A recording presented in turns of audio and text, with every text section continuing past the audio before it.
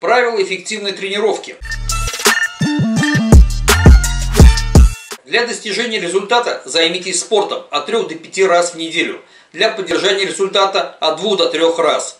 Если вы занимаетесь каждый день, нагрузка должна быть разной. Сочетайте силовые тренировки с аэробными и растяжкой. Продолжительность средней тренировки от 45 до 60 минут. Занятие всегда начинается с разминки. В конце тренировки нужно обязательно сделать заминку. Растяжка, расслабление. Если вы работаете на похудение, после основной части можно добавить аэробную нагрузку. Бег, вело, эллипсоид 30 минут. Если вы хотите быстрее избавиться от проблемной зоны, нагружать надо все тело целиком. Тогда мышцы будут равномерно распределяться по телу, а не накапливаться в месте, которое вам и так кажется большим. До тренировки, во время и после воду пить можно и нужно, но небольшими глотками и в небольшом количестве. 1-2 стакана за тренировку. При обезвоживании более чем на 2% массы тела ЧСС и температура тела при выполнении физической нагрузки повышается, а активность падает.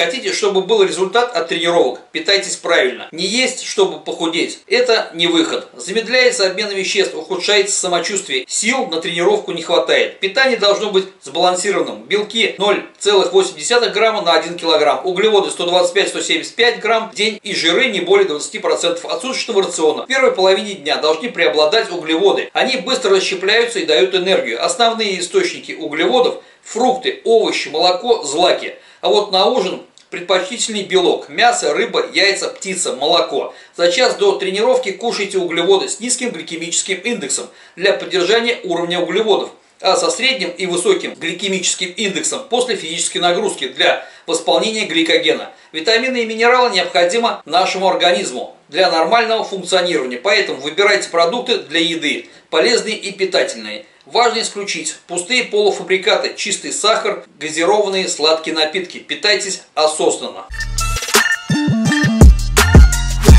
Не забывайте про способность организма адаптироваться к нагрузкам. Мышцы надо постоянно удивлять, вносить разнообразие, менять варианты упражнений, количество повторений и подходов.